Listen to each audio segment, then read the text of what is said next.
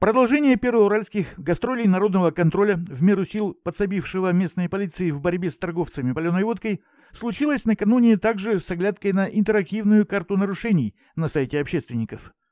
Малопочетное второе место в рейтинге наиболее доставших мирное население барыг занял продуктовый лаваз по адресу Емлина 12А.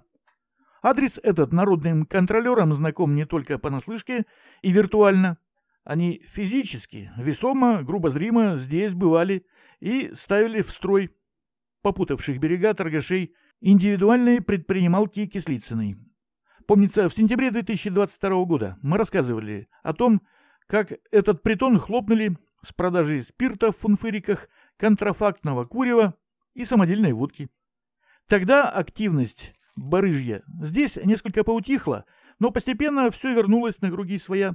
И снова Гражданам, в чей дом встроен этот рассадник, надоела алкашня, которая ломится сюда за отравой в круглосуточном режиме.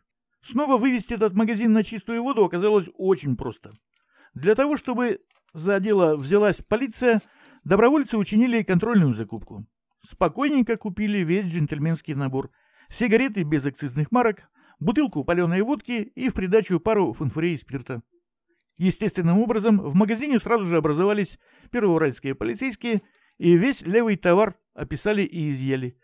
Оформили злодейство, за которое торгашам придется теперь раскошелиться на сумму штрафа, которая нынче уже совсем не смешная.